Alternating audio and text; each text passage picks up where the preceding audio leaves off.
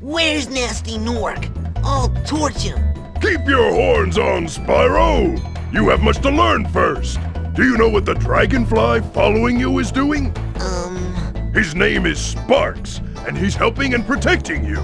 Keep an eye on him and see what I mean.